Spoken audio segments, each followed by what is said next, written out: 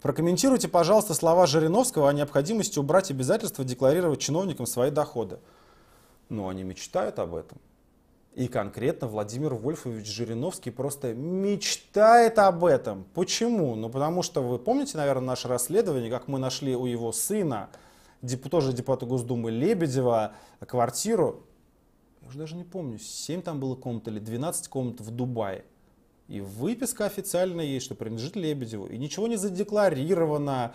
И понятное дело, чтобы обслуживать эту квартиру, нужно, нужно иметь счет за границей, чтобы платить за коммунальные услуги. И ничего в декларации не было, и ничего ему не было. И все спустили на тормозах. Они мечтают о том, чтобы вообще не было никакого контроля, чтобы вы, ну и мы конкретно, не могли даже совать свой нос в их дела и выяснять что-то там про их э, имущество. Вот вам идеальный пример на самом деле, насколько российская система декларирования, она вообще не работает. Вообще не работает. И почему они хотят ее убрать? Есть такой депутат, раньше депутат, а сейчас сенатор, Бабаков.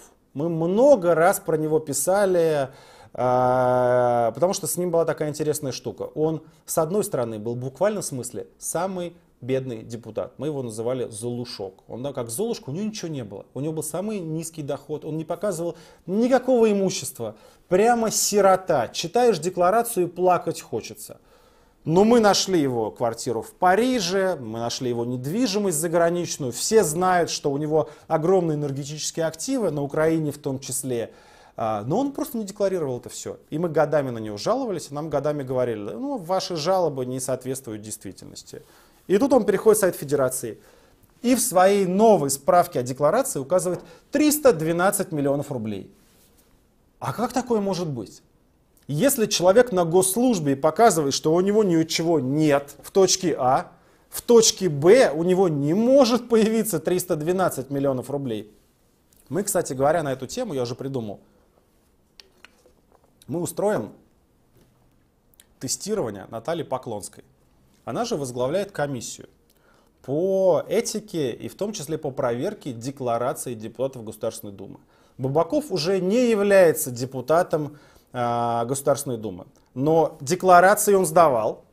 Сейчас у него новая декларация, в ней 312 миллионов рублей.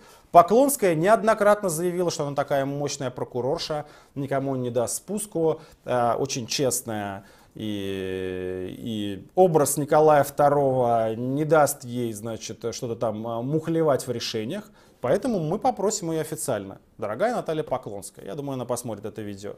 Пожалуйста, выясните, если Бабаков все это время лгал в своей декларации, а он очевидно лгал, потому что 312 миллионов рублей он же не нашел на улице, ну то значит он должен быть либо привлечен к ответственности, либо хотя бы Государственная Дума официально должна, комитет, который возглавляет Поклонская, должна официально сказать, ребята, этот депутат лгал и обманывал и нарушил процедуру декларирования. Вот мы очень ждем, напишем официальное обращение, когда Госдума рассмотрит это все и объяснит нам, каким образом из нуля получается 312 миллионов рублей.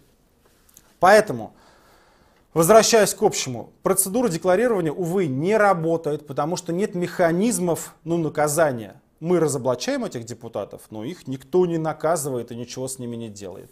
А, но нет механизмов давления типа прессы и всего остального. А, но если мы даже отменим это, то, что есть отменим, ну, я не знаю, что они тогда будут делать. Они просто, это же все очень богатые люди, да. Страна беднеет, у нас 4 года подряд реальные, это называется реальные располагаемые доходы населения, они снижаются. И только глядя на декларации депутатов, Э, мы видим, что вот у них становится лучше. Депутаты становятся богаче официально. Министры, члены правительства официально становятся богаче. Э, члены Совета Федерации просто там очень сильно разбогатели за последний год. У этих людей вот все деньги. Они входят в тот самый 1% или там полпроцента, который контролирует 84% национального богатства. Если мы декларирование отменим, ну то там будет вообще полный трэш.